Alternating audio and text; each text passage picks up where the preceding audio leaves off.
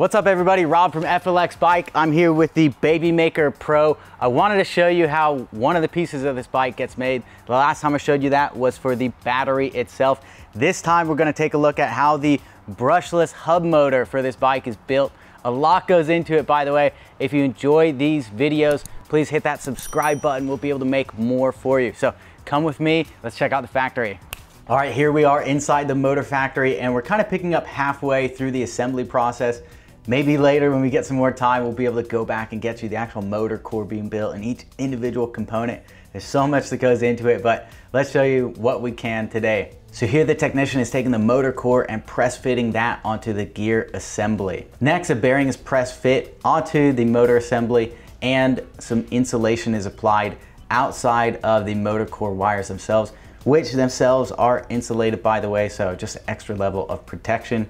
Next, that motor moves along and our tech here adds some sealing grease, the bolts to hold the housing together and press fits that all together before the bolts are tightened.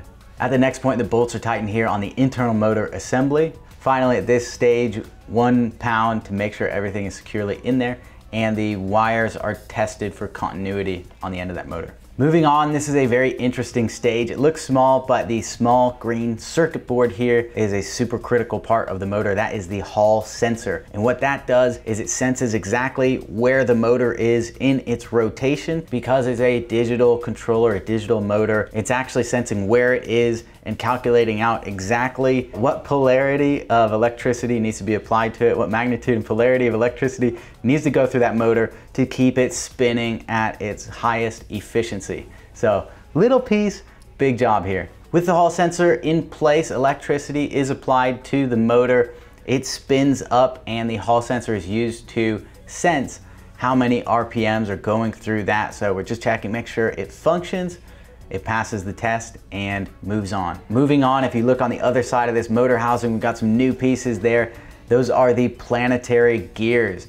And what that is for is a reduction. If you saw in the last clip, the motor was spinning at over 3,000 RPM, which is a healthy RPM for motors of this size, but way too fast for a bicycle to use. So to get more torque, more low end power out of it and spin at a reasonable rate, those gears are installed.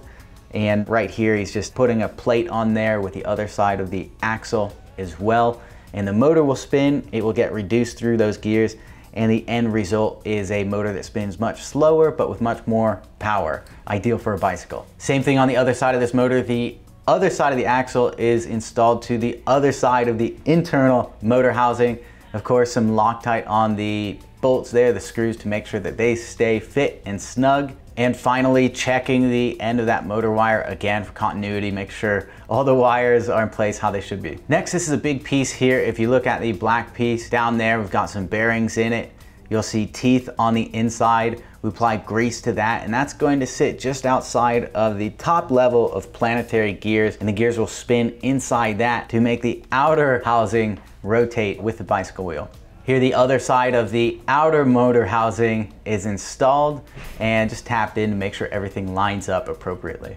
Next, some weatherproofing gaskets are installed on either side of the axle to reduce the chance of any moisture or dust, dirt getting inside the motor. As far as building the motor goes, that's pretty much it, but there's still some very important steps testing here. We put the motor on a little dyno right there, and it's cool. You can see how the electricity goes from positive to negative. It's a digital motor. So it does oscillate between positive and negative. If you take a look at the computer here, you'll see that we are testing with the dyno for max power, torque, input voltage, output voltage, efficiency, all those specs. If it is not up to the spec laid out, that motor will not be used. After testing, that motor is ready, so the final touches are put on it. Some bolts are installed in the outer motor housing to keep everything together with some very strong red Loctite the motors are cleaned up and prepared for shipping. The motors are packaged six to a box and sent onto our assembly factory. All right, guys, that's it for today's production update. If you enjoyed seeing these behind the scenes videos in the factory, please take one second, hit that subscribe button, like, comment, and stay tuned for the next update. We'll see you later.